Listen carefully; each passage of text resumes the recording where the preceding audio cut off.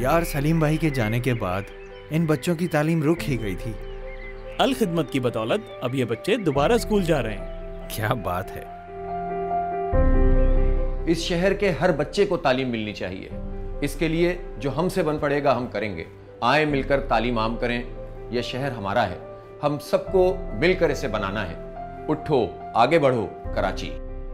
आपकी जक़ात फितरात सदकात इमदाद। पढ़ा लिखा मुस्तकबिल बना सकती है। अल खिदमत जहाँ ज़रूरत।